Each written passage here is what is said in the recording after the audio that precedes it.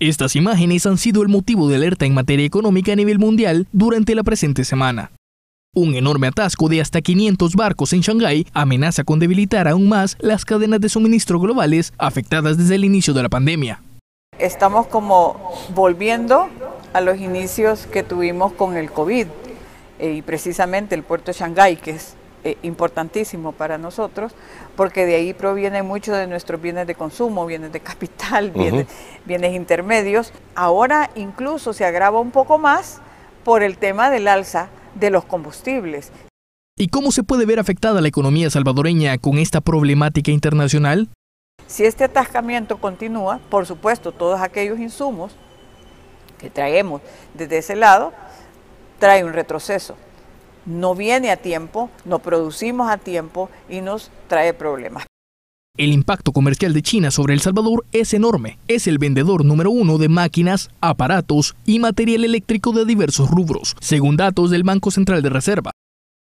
Tan solo el año pasado, la importación de estos productos representó 1.031 millones, un 40.7% del total de importaciones desde la nación asiática. Esta crisis, sumado al problema bélico entre Ucrania y Rusia, podrían derivar en una escasez de materias primas durante los próximos meses, aseguran algunos economistas.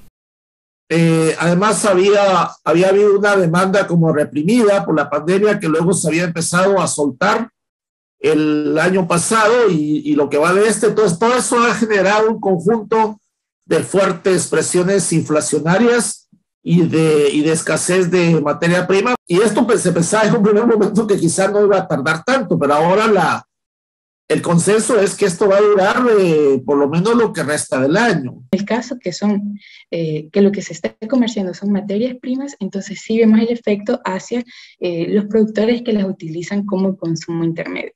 Las cadenas de suministro importantes que se encuentran en China son, por ejemplo, la cadena de suministro automotriz, de productos electrónicos y de bienes de consumo. Por ejemplo, el precio de los automóviles usados en Estados Unidos ha aumentado un 35% de 2021 a 2022. Pero, ¿cuáles son las materias primas que más podrían verse desabastecidas en el mercado salvadoreño? De precio todo, porque todo de alguna manera se transporta. Entonces, si el precio del petróleo sube y derivados, todo tiende a subir. Hay una escapatoria. Pero luego hay productos afectados más directamente. Por ejemplo, el, trigo.